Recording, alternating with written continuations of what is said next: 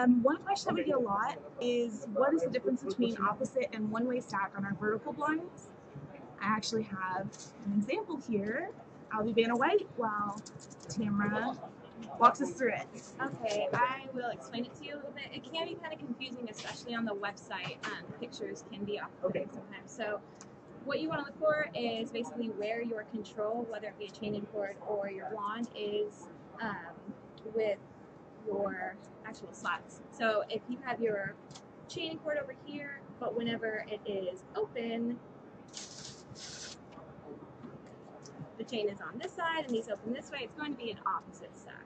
So if it's going to be pushing like this, all together, ending up on the same side, that is one way. So just remember, best way is to look at it when it's open. Where is your chain control? Awesome. Pretty easy.